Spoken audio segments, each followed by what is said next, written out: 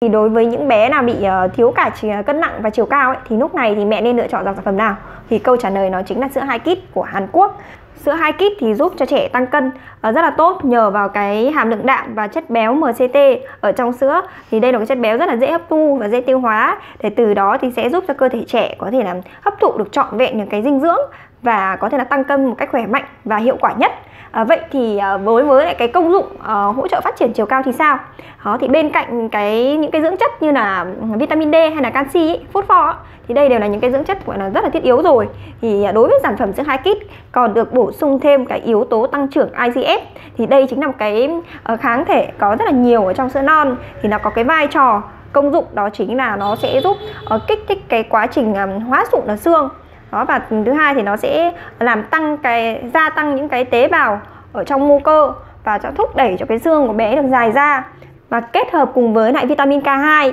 thì đây là chính là một cái loại vitamin uh, tự nhiên nhé nó có vai trò nó chính là nó sẽ giúp uh, hấp thu một cách tối đa nhất canxi từ máu vào xương và nó tránh bị đào thải ra ngoài. Đó thì từ đó thì sẽ uh, giúp cho trẻ có thể là phát triển um, cái chiều cao một cách tối ưu nhất. Và đây cũng chính là cái bí quyết của nhà sản xuất đưa vào trong sản phẩm sữa hai kit để từ đó thì uh, có thể giúp cho trẻ uh, phát triển chiều cao một cách khó khoa học nhất. Đó thì ngoài cái công dụng uh, IGF ngoài cái công dụng mà đó chính là giúp uh, trẻ phát triển chiều cao ấy thì nó có khi mà nó kết hợp cùng với lại cái kháng thể IgG thì đây đều là cái bộ đôi uh, kháng thể có rất là nhiều chiếm tỷ lệ lớn ở trong sữa non thì nó sẽ giúp cho trẻ có thể làm uh, tăng cường sức đề kháng của hệ miễn dịch và có thể ngăn chặn được những cái yếu tố có hại từ ngoài môi trường và có thể là uh, hạn chế uh, giúp trẻ có thể làm ít mắc bệnh hơn và ít ốm vặt hơn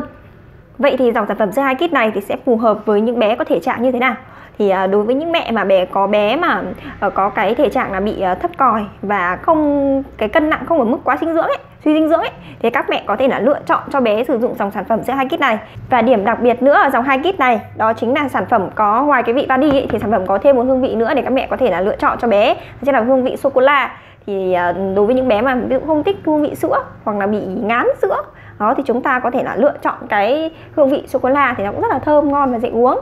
và bên cạnh đó thì sữa thì cũng đã rất là tốt rồi. Đó, tuy nhiên thì là mẹ cũng cần phải hết đảm bảo được những cái bữa ăn hàng ngày cho bé để ờ, có thể là ờ, kết hợp cùng với sữa để có thể là mang lại cho con được một cái cân nặng và cái chiều cao đạt chuẩn nhất.